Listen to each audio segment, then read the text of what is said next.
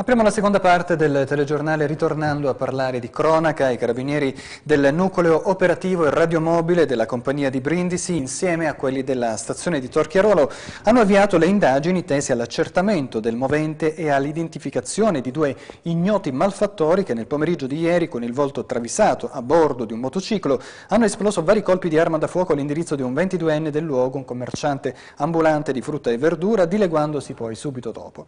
L'uomo ferito da un colpo ad un'anca, è tuttora ricoverato presso l'ospedale Perrino di Brindisi, ma non versa in pericolo di vita. Martina Franca negli ultimissimi posti della classifica regionale sulle percentuali di raccolta differenziata, un problema prioritario per l'amministrazione Ancona impegnata nella predisposizione di un nuovo appalto più moderno ed efficace. Vediamo il servizio. Martina in zona retrocessione nella classifica della raccolta differenziata dei rifiuti. Una maglia nera che, indossata ormai da qualche anno, fa precipitare la città negli ultimissimi posti tra i comuni pugliesi. Martina Franca, infatti, con il suo 4,03%, i dati si riferiscono ad agosto 2012, è al 231 posto su 239 comuni pugliesi che hanno fornito alla Regione le percentuali di raccolta differenziata. Primatista della classifica in positivo invece Rutigliano con il 79,09%, Male anche il capoluogo di provincia invece, Taranto con meno del 7%, mentre c'è chi sta anche peggio di Martina, San Marzano di San Giuseppe con lo 0,7% e Maruggio con il 2,36%. Dunque, e questo lo si sapeva già, è certamente gravoso l'impegno portato avanti dall'amministrazione Ancona e in primis dal giovane assessore all'ambiente Stefano Coletta sul fronte del miglioramento e dell'ammodernamento del servizio di raccolta differenziata in città. Due assolute priorità per Martina che, se vuole riemergere dai bassi fondi di una classifica certamente non dignitosa, dovrà dotarsi di un appalto al passo con i tempi e rispondente alle mutate esigenze della sua comunità cittadina. Agli strumenti tecnici si dovrà pensare però anche di affiancare una efficace e capillare campagna di sensibilizzazione diretta proprio ai cittadini sui benefici della differenziata e quindi sulla opportunità del suo corretto utilizzo. Intanto nei giorni scorsi la Giunta ha sottoscritto un protocollo d'intesa fra il Comune e il CONAI, il Consorzio Nazionale Imballaggi, finalizzato all'incremento della raccolta differenziata dei rifiuti urbani e di imballaggio. Con questo accordo il CONAI, organismo che il decreto Ronchi ha delegato per garantire il passaggio da un sistema di gestione rifiuti basato sulle discariche ad uno invece integrato, basato sul recupero e sul riciclo dei rifiuti di imballaggio, si impegna a collaborare gratuitamente per redigere un piano industriale di sviluppo della raccolta differenziata, questo anche in virtù dell'accordo quadro siglato con l'ANCI Bilanci, sottoscritto il 23 dicembre del 2008, con l'obiettivo per i comuni che sottoscrivono la Convenzione di ottenere un corrispettivo economico in funzione della quantità e della qualità dei rifiuti urbani raccolti. Ma non solo. L'esecutivo Ancona ha anche deliberato di approvare una convenzione tra il Comune e il Consorzio Indumenti Usati, un progetto promosso in collaborazione con la comunità Emanuel Onlus di Martina Franca, che quale obiettivo primario avrà quello di definire le modalità di collaborazione delle parti all'attività di raccolta differenziata di indumenti, settore che, se adeguatamente valorizzato, rappresenta una parte del mercato in grado di generare risultati certamente positivi. Da Martina Franca a Fasano, dove si fa sempre più vicina la costituzione del Comitato dei Genitori delle Scuole dell'Infanzia. Ce ne parla Mariangela Boggia. Prosegue il cammino verso la costituzione del Comitato dei Genitori delle Scuole dell'Infanzia di Fasano. Con l'ultimo incontro, dal tema alla definizione dello statuto e dell'atto costitutivo, è stato deciso che i rappresentanti di classe potranno prendere parte alle riunioni del Comitato in qualità di genitori comuni. Il Comitato si propone di monitorare e migliorare le attività scolastiche e di rappresentare i genitori indipendentemente dagli altri organi, come si legge nell'atto costitutivo, di organizzare iniziativa di aggregazione e promuovere la partecipazione dei genitori alla vita della scuola. Lo Statuto sottolinea la finalità del Comitato, ovvero quello di essere un efficiente collegamento tra scuola e famiglia, operando in maniera apartitica e senza scopo di lucro. La nascita sarà ufficializzata entro domenica prossima con un'apposita riunione dentro entro il 31 dicembre 2012 saranno approvati il regolamento interno per le elezioni del Presidente, Vicepresidente, Segretario e Consiglio di Presidenza e il regolamento per la gestione e l'utilizzo dei proventi. Restiamo a Fasano dove sono 12 corsi e laboratori in programma per il nuovo anno accademico 2012-2013 dell'Università del Tempo Libero. Prende il via oggi il nuovo anno accademico 2012-2013 dell'Università del Tempo Libero di Fasano. In programma corsi e iniziative per contribuire alla promozione culturale e sociale e per favorire la vita associativa mirando allo scambio di idee e di informazioni. Un programma che non prevede solo corsi ma anche convegni, conferenze, ricerche e studi per diffondere la conoscenza dell'ambiente e il confronto tra culture e generazioni diverse. Intanto sono 12 corsi programmati per i giovedì culturali, l'appuntamento è con la fasanisità e le personalità di spicco della città, al centro anche l'educazione alla salute con incontri dedicati al mondo della medicina e alle tecniche di rilassamento. La letteratura e la storia tra laboratori di scrittura creativa, miti e racconti, le lingue straniere, i libro forum con le letture della Bibbia e di Ignazio Silone, ma anche attività motoria, teatro, pittura, cineforum e fotografia e attività sartoriale artistiche e di videoscrittura. Lo sport, il calcio con una rete di Gambino siglata dopo 4 minuti di gioco, il Martina supera l'Interreggio nell'incontro valido per la decima giornata del girone B del campionato di seconda divisione di Lega Pro e si porta al terzo posto in classifica. In Serie D un buon Brindisi perde invece la sua sfida casalinga contro la capolista Gladiator. Finisce 1-0 per gli ospiti ma i biancocelesti di mister Francioso sfoderano una buona prestazione che fa bene ben sperare per il proseguo del campionato. Dal calcio al basket in, pre, in presa in Lega A per l'Enel Brindisi che piega in trasferta il Sassari per 90 a 78, sconfitta invece in divisione nazionale B per Lassio Stuni che perde 53 a 44 contro il Bernalda, sempre in Serie B sconfitta anche per il Martina per 88 a 71 contro il Pescara. Infine nella Serie A2 di volley femminile ancora una sconfitta casalinga per la Cedat 85 San Vito che deve piegarsi 3-0 contro il Pavia. Vi lascio ora alle news nazionali al TG Femini, da parte mia è tutto, grazie per l'attenzione e arrivederci.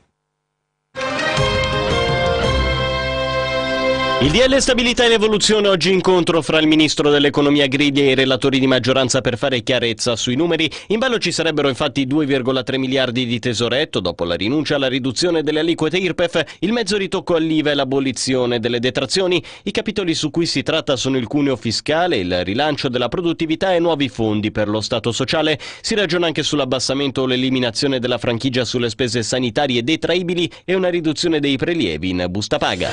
Gli Stati Uniti domani al voto per le presidenziali più in bilico della storia. Obama e Romney sono in sostanziale pareggio e saranno gli stati chiave a decidere chi sarà il prossimo inquilino alla Casa Bianca. Certo Romney ha dei nemici famosi anche se non possono votare. Hanno manifestato ieri a Washington contro la sua proposta di togliere i finanziamenti alla TV pubblica e sono sicuramente amatissimi. I Muppets, capitanati dalla rana Kermit, ma anche da quel Big Bird ancora scottato dall'attacco subito dal candidato repubblicano.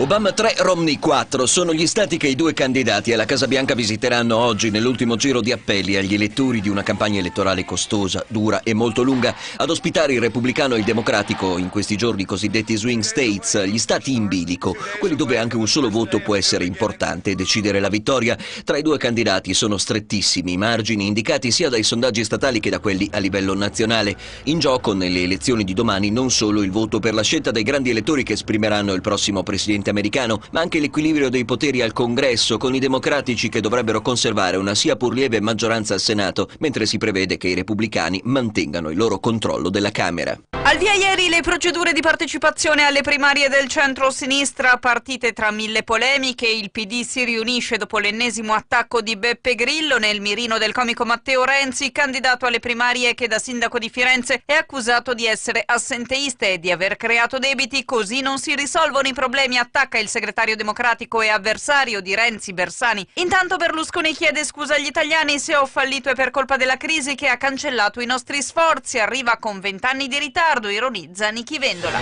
Il governo accelera sulle liste pulite, ultimi ritocchi al testo sul decreto legislativo che prevede l'impossibilità di candidare in vista delle prossime elezioni i condannati in via definitiva ad una pena minima di due anni. Il testo è quasi pronto, ha detto il ministro dell'interno Cancellieri durante le celebrazioni ieri per la giornata dell'unità nazionale delle forze armate. La bozza dovrebbe arrivare in settimana in Consiglio dei Ministri per essere approvata in via definitiva entro gennaio, in tempo utile già per le elezioni regionali in Lazio, Lombardia e Molise. I condannati non saranno candidabili per un periodo doppio rispetto alla pena.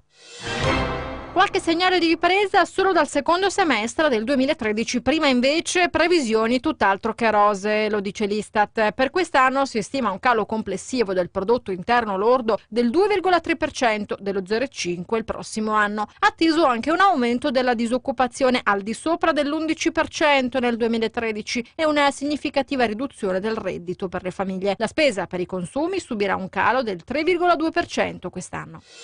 Che fosse una stangata lo si sapeva sapeva dall'inizio, ma solo ora. Si sa di quanto l'IMU tocca le tasche dei proprietari di immobili molto più dell'ICI, il 207% in più se a Milano si ha un immobile in locazione a canone libero, il 2330% se a Venezia se ne ha uno a canone concordato. Si tratta di calcoli dell'ufficio studi di Confedilizia, tre cifre di aumenti percentuali per tutti i contratti nei 13 capoluoghi che hanno scelto l'aliquota massima, a rischio secondo lo studio principalmente i canoni agevolati che ai privati non convengono più. Violenti combattimenti sono in corso da questa mattina nelle due principali città della Siria, Damasco e Aleppo. Le truppe fedeli al presidente Bashar al-Assad hanno bombardato il quartiere di Ajar al-Aswad, nel sud della capitale, dopo un attacco alla milizia fedele al presidente siriano da parte dei combattenti dell'opposizione. L'esercito siriano ha risposto con razzi, carri armati ed artiglieria. Ad Aleppo i bombardamenti hanno provocato una vittima, secondo l'osservatorio siriano sui diritti umani. Non solo il più brutto del mondo, non solo uno degli alberghi più alti mai costruiti, ma anche quello che ha richiesto più tempo dalla posa della prima pietra all'inaugurazione non ancora avvenuta. È il Ryungyong Hotel in Nord Corea, simbolo dello sfarzo e delle aspirazioni dello Stato, governato ormai da una monarchia militare assoluta. L'ennesimo annuncio in questi giorni, l'albergo soprannominato dai media americani Hotel Doom, ovvero Hotel condannato, Hotel della mala sorte, aprirà i suoi battenti nel 2013 a 26 anni dall'inizio della sua costruzione. La crisi riaccende il feeling tra gli italiani e la cucina, i ristoranti e la spesa pesano sempre più nel bilancio mensile e allora ci si arrangia. Secondo Coldiretti passiamo circa un'ora al giorno al focolare domestico, mentre secondo Coop Italia compriamo sempre più prodotti di base, farina, uova e burro che si traducono in torta casalinga. Oltre 21 milioni di italiani dichiara di preparare alimenti in casa e se tornano di moda le conserve cresce anche l'autoproduzione. Sul web intanto aumentano di giorno in giorno i siti con i consigli per tornare con gusto alla vita alimentare dei nostri nonni. Fernando Alonso tiene aperto il mondiale ma non c'entra il sorpasso in vetta, il ferrarista arriva secondo ad Abu Dhabi e rosicchia solo qualche punto al suo rivale Sebastian Vettel, partito dall'ultima posizione in griglia e poi strepitoso terzo al traguardo dopo una serie infinita di sorpassi, una gara con molti colpi di scena, vinta dalla Lotus di Kimi Raikkonen, tornato al successo in Formula 1 dopo tre anni, Alonso è partito bene e ha fatto il massimo chiudendo proprio davanti a Vettel, lo spagnolo della Ferrari è ora a 10 punti dal tedesco quando mancano solo due gare alla fine del mondiale. L'invidia è risaputo spesso gioca brutti scherzi, se poi ad essa si aggiunge anche la rivalità, il danno è fatto. Alla Hamann Motorsport, nota casa automobilistica tedesca, non ne potevano più di Lamborghini fluorescenti o Porsche color verde prato e allora hanno deciso di stupire tutti. Hanno preso una McLaren 12C e questo è il risultato, una vera e propria esplosione di colori. Per la modica cifra di 95.000 euro la colorazione può essere replicata anche sulla vostra supercar, sempre che ne abbiate una.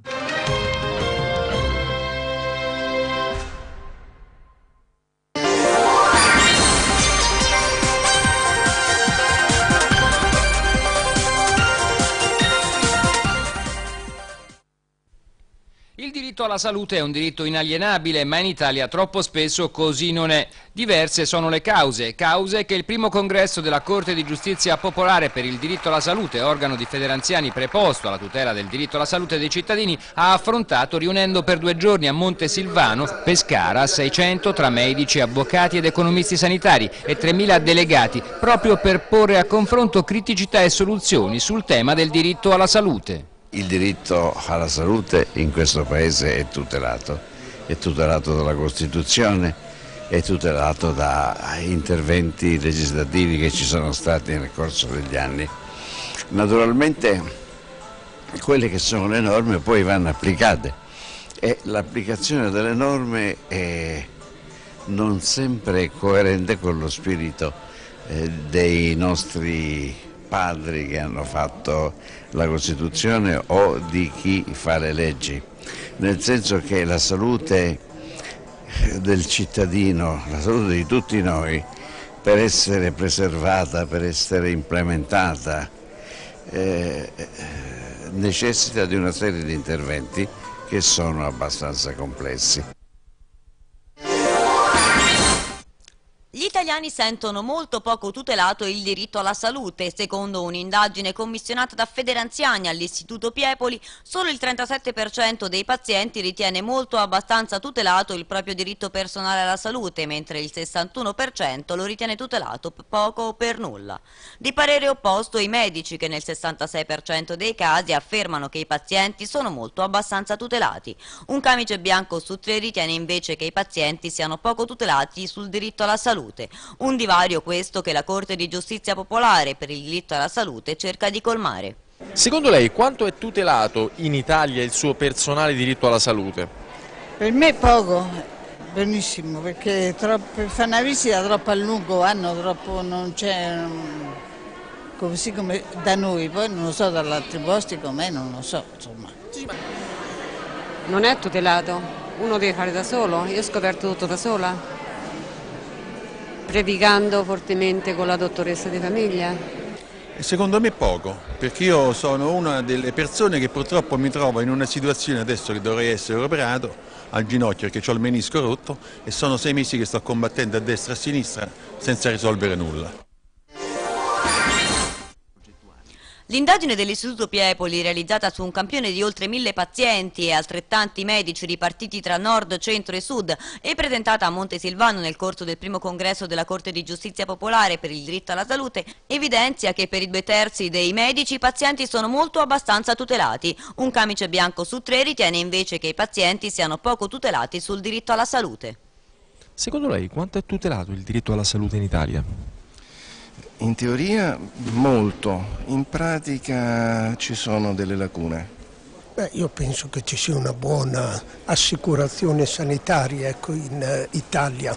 In realtà se facciamo la media con altri paesi sembra essere nella media alta della tutela. Ci sono molti buchi. Giorni di lavori per analizzare le criticità delle rispettive aree specialistiche ed elaborare proposte da presentare in tutte le sedi competenti, dalle istituzioni alle direzioni generali di ASL e aziende ospedaliere. È il lavoro svolto dalle commissioni tecniche dei 15 dipartimenti della Corte di Giustizia Popolare per il diritto alla salute, che come annunciato durante il congresso di Montesilvano, proprio per l'importanza del ruolo che svolgono, il prossimo anno diventeranno 40 con il coinvolgimento di 3.600 medici su tutto il territorio nazionale. Io credo che sia stato oh, davvero un incontro molto propositivo e concreto quello che ieri ha visto coinvolti farmacisti, farmacologi, medici di medicina generale e avvocati. Il problema dei farmaci è un problema critico nella popolazione anziana, ci sono delle normative che sono state da poco adottate che a nostro modo di eh, intendere presentano delle criticità che vanno assolutamente affrontate e ridiscusse anche con gli organi eh, istituzionali. Devo dire che mh, mi aspettavo esattamente quello che è successo mentre qualcuno aveva scetticismo, ma i medici, i pazienti, perché nella nostra natura stare con i pazienti non è un optional, è, è obbligatorio. Io entro in casa delle persone, eh, ho visto figli, nipoti nascere, eccetera, quindi stare con i pazienti per noi è sempre stata una forza straordinaria e, e questo evento fortemente positivo, di grandissima importanza lo conferma. Continua l'impegno di Federanziani nel solidale con il progetto Kenya, un paese che ha bisogno dell'aiuto di tutti. Ancora una volta con lo strumento della vacanza etica. Federanziani Solidarietà offre l'opportunità di sostenere attivamente un progetto di rinascita in una terra dove manca ogni cosa, dove un pozzo, una scuola, un dispensario clinico sono indispensabili per il futuro di una comunità. Per far conoscere ai propri sostenitori le opere realizzate grazie al loro contributo, Federanziani Solidarietà organizza delle vacanze sociali periodiche come strumento di avvicinamento tra i donatori e le popolazioni destinatarie degli aiuti. Partecipando alla vacanza solidale si sostiene economicamente la realizzazione del progetto in aiuto di una comunità di 50.000 persone, soprattutto bambini, che vivono in piccoli villaggi nell'entroterra di Malindi. È importante per la vita di queste persone quanto Federanziani Solidarietà ha già realizzato in questa terra, ma c'è ancora molto da fare e serve il contributo di tutti. Diritto alla salute, ma quanto è tutelato nel nostro paese? Poco o molto poco per i cittadini, secondo quanto emerge da un'indagine realizzata dall'Istituto Piepoli per Federanziani. A sentire le voci dei pazienti, infatti, quello alla salute è un diritto che esiste sulla carta, ma che poi nella realtà è poco applicato. Pochissimo. Perché? perché non c'è un'assistenza adeguata per eh, eventuali malattie, eventuali eh, che uno serve una cosa, eh, diciamo una lastra o un, un'analisi o, o, altre cose rimandano fino a, a sei mesi, un anno. Secondo lei in Italia quanto è tutelato il suo diritto alla salute? Mm, quasi quasi zero, il 10%. Quanto è tutelato non lo so, però se mi devo curare sono assistita, non è che mi lasciano così. Se gli italiani sentono poco tutelato il proprio diritto alla salute, non la pensano così i medici, la maggior parte. Secondo l'indagine dell'Istituto Piepoli, commissionata da Federanziani, ritiene invece che in Italia sia molto o abbastanza tutelato il diritto alla salute. Solo un camice su tre, infatti, pensa che i pazienti siano poco tutelati. Secondo lei, quanto è tutelato il diritto alla salute in Italia? Troppo poco, o non il giusto. Penso che sia tutelato a seconda un po' anche delle regioni, eccetera. E poi sì, direi fondamentalmente sì. Secondo lei quanto è tutelato il diritto alla salute nel nostro Paese? Ma io penso abbastanza, sinceramente anche, forse anche troppo.